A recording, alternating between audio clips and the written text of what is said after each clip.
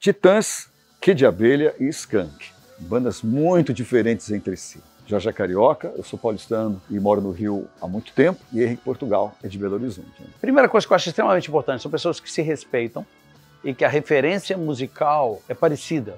Então a gente tem algumas é, similaridades, assim, é, o respeito pela música brasileira, o respeito pelos grandes nomes da MPB, e também temos, assim, por que não, né?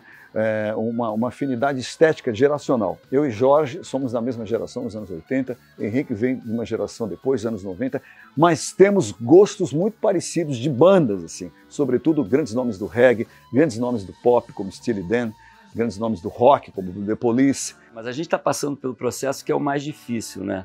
Que é, que é montar o repertório, né? Mas os músicos são muito competentes, assim, então a, a coisa está andando rápido e não tem muito essa coisa de ficar muito empacado. A gente está tentando, né? Ser objetivo. Isso nos conecta e faz com que a gente tenha uma linguagem muito rápida nos ensaios. A gente criou uma coisa nova, apesar de usar muitas músicas de um repertório que todo mundo conhece, que, mas acho que a gente cons conseguiu colocar uma pimentinha nova. Tem que desafiar, né? E, e, as escolhas das músicas não tão óbvias, algumas. Né? Exatamente. Né? E isso está gerando uma identidade musical muito interessante. Ao mesmo tempo, é, rica, mas muito conhecida, porque a gente está falando de uma época onde a música era disseminada de uma forma muito massificada.